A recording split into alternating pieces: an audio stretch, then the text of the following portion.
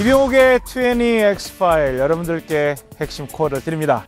안녕하세요. PGA 클래스의 이병옥입니다. 오늘은 여러분들께 올바른 피니시 요령에 대해서 알려드립니다.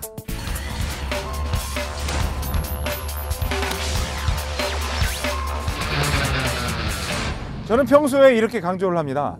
골프의 시작과 끝은 setup이라고요. 처음에 스타트 포인트와 피니시 포인트가 있어요. 어디로 가건 간에 그 포인트에 연결이 잘 돼야 되는데 이 포인트가 잘 잡혀 있지 않으면 어, 정확한 예쁜 원하는 그런 라인이 그려지지 않는다는 점입니다. 그래서 setup이 시작할 때 굉장히 중요하고요. 피니쉬는 이 setup을 setup에 의해서 전체적인 스윙을 완성시키는 데 있어서 이 setup과 유기적인 관계가 있다는 겁니다. 자, 피니쉬가 정말 이렇게 예쁜 골퍼들이 백스윙을 이렇게 한다거나 그런 골퍼들은 거의 없습니다. 그런데 백스윙을 예쁘게 막 노력을 해서 만들었는데 피니쉬가 이렇게 안정되게 만들어진다고는 장담을 못해요. 오히려 이렇게 해서 몸이 따라간다거나 여러 가지 변화가 있습니다. 그래서 그만큼 피니쉬가 중요하거든요. 그래서 여러분들이 피니쉬를 정확히 만드는 방법은 setup에서부터 쭉 follow through, follow through 페이스 하늘 보고 그 다음에 한 50cm가 지난 다음에 회전을 했죠.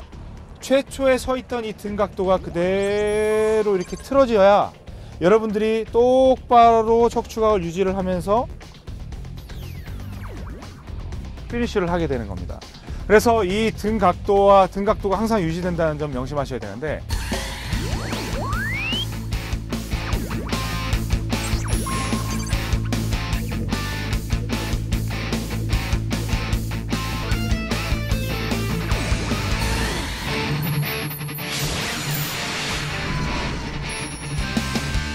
이 피니쉬는요 여러분들의 탄도를 결정하는 굉장히 중요한 요소입니다. 여러분들 이 180도를 기준으로 했을 때 여러분들이 high finish를 하게 되면 자연스럽게 백스윙이 낮아지게 되고요.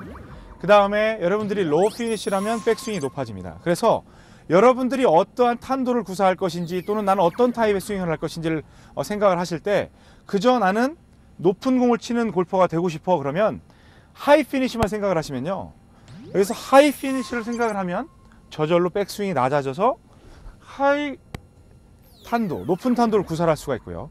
나는 낮은 탄도를 치겠다라고 생각을 해서 피니쉬를 낮게 낮게 가지고 다니시면 자연적으로 백스윙이 높아지면서 낮게 치는 듯한 이런 모습을 가지고 있습니다.